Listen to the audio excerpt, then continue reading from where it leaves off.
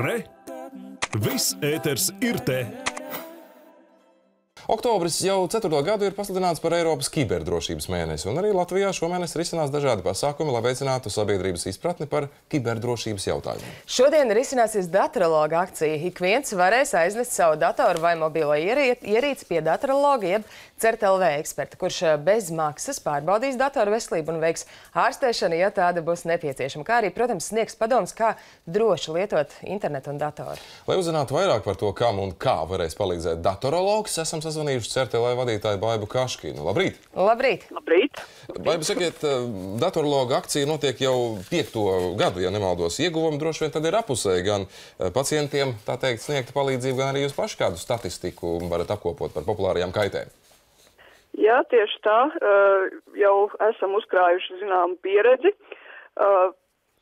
Pirmajās reizēs pacientu skaits bija daudz lielāks nekā vēlāk, kas nozīmē, ka uh, cilvēkiem bija daudz lielāka neizpratne un nezināšana par savu datoru un ierīču veselību. Uh, pēdējās reizes raksturīgas ar to, ka cilvēki nāk pārbaudīties, bet uh, vīrusu ir mazāk vai to nav nemaz. Iespējams, ka ir kādas citas konfigurācijas problēmas, kurām varam palīdzēt. Eh, bet ir arī gadījumi, ka cilvēkam ir vīrus, un nu, tad vai nu mēs redzam kaut ko interesantu, kāda varbūt mums piemēra vēl nav. Eh, bet, jebkurā gadījumā, cenšamies cilvēkam palīdzēt, ja tas ir iespējams. Vai varat minēt, cik liels ir tas īpatsvars inficētajām ierīcēm? Eh, no tiem, kas pie mums ierodas? Jā. Nu, apmēram pusē ir kāda vīrusa un pusē nav pēdējā. Nu, tomēr diezgan augsts rādītājs. Mm. Ka Kā, kā praktiski notiek šī datorologa akcija? Es domāju, ka to gribētāju pārbaudīties ir gana daudz. Noteikti kaut kāda varbūt iepriekšēja atfiltrēšana, kaut kāda testi jāizpild pirms tam, vai cilvēks kvalificējas datorologa konsultācijā. Analīzes jānodod. Analīzes varbūt jānodod, jā. Kā tas notiek? Šobrīd analīzes nav jānodod. Gaidīsim šodien no desmitiem līdz četriem. Pie mums CERTLV telpās Raiņa Bulvārī 29. Šoreiz būs dzīvā rinda, bet, nu, ja rinda būs ļoti gara, tad ar interesantiem varēsim arī sarunāt, ka viņi atnāks kādā citā dienā. Tas, ka datoram ir nepieciešams antivīrus, nu šķiet tas tomēr tāds diezgan plaši un, un labi zināms fakts, bet uh, kā ir ar viedierīcēm, cik aizsargātas un cik cilvēkiem ir uh, liela tā apziņa, ka ir jāaizsargā arī šīs te, tā, planšetes un, un uh, vietāluruņi? Eh, šī apziņa sāk pamazām veidoties, eh, bet, protams, ka antivīrus uz telefonu ir mazāk izplatīts un ne, ne visiem tas ir. Eh, bet, ja cilvēkiem rodas aizdoms, ka telefons varbūt lēni strādā vai kaut kādas citas dīvainas reakcijas, kas, kam nevajadzētu notikt, tad viņi nāk arī pārbaudīt planšetes vai telefonus.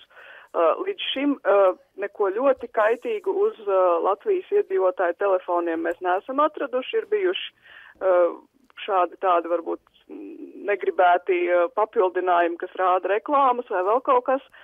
Bet, nu, jebkurā gadījumā gaidīsim arī šodien gan Android, gan iPhone ierīču uh, lietotājus, kuriem liekas, ka varbūt kaut kas nav kārtībā ar viņu ierīci, lai pārbaudītu, vai nav kāds vīrus. Vai jūs droši vien varat konsultēt tikai par tā saucamo softu, ja par programmu nodrošinājumu, par to, ka cilvēkam tur akumulators silst vai nedodies sprāks, tas šajā gadījumā absolūti nav jūsu darbības lauciņš. Tur mēs nevarēsim palīdzēt, tur visticamāk nekāda ļaunatūra nebūs pie vainas un, nu, protams, pakonsultēt jau var tāpat tehniskie kolēģi, bet palīdzēt nevarēsim. Minējāt, viedierīces paliek lēnas. Tā ir viena no pazīmēm, kas varētu liecināt, ka tās ir inficētas. Kas eh, varbūt ir vēl kādas tādas tipiskas pazīmes? Uh, nu, protams, ja rodās uh, izmaiņas rēķinā, negribētas maksas īziņas vai zvani uz maksas numuriem, nu, tā jau ir ļoti nopietna pazīme, uh, kas norāda, ka kaut kas nav kārtībā ar ierīci, bet to cilvēks parasti arī visātrāk pamana un interesējas ar operatoru, kas ir noticis un tā tālāk. Uh, tikpat labi var arī no viedierīces tikt uh, zakti privātie dati. Nā, ko, diemžēl, bieži vien mēs varam uzzināt jau krietni novēloties. Tieši tā, jā. Vēl sarunas nobeigumā mēs vēlētos mums pavaicāt par profilakses pasākumiem, jo, kā mēs zinām, tā ir labākā, labākā drošākā ārstēšanās sākt ar profilakses uzreiz. Es pieļauju, ka datorlogs arī to varēs teikt, bet ja jau šajā rītā varat sniegt tās galvenās atziņas par to, kam jāpievērš uzmanību, lai uh, savu datoru veselību vai viedierīces veselību nodrošinātu jau laikus paši nu, tās pašas vecās patiesības jā, jādomā ar galvu, ne, nevirinam vaļā e-pasta pielikumus un neklikšķinam uz aizdomīgiem linkiem. viedierīču gadījumā noteikti nevajag instalēt uh, programmatūru no neoficiālām vietnēm.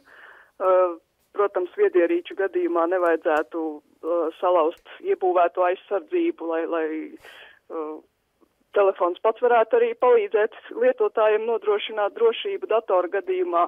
Protams, ka ir jābūt antivīrusam, ar to visu nevar izārstēt un novērst, bet lielāko daļu problēmu tomēr uh, var. Uh, nu, jābūt prātīgiem. Paldies par sarunu šajā rītā. Tā bija Baiva Kaškina, CRTLV vadītāja. Atgādinām, tātad datorologs šodien datoru Pieņem ārsts. dzīvajā rindā. Dzīvē rindā no pulksten desmitiem. Stundiņas trīs jāpaciešas, un tad arī uh, varēs uz Raņa bulvāra 29 arī doties, tur, kur noteikti atrodas Fizikas matemātikas institūts, arī CRTLV, protams, tā skaitā.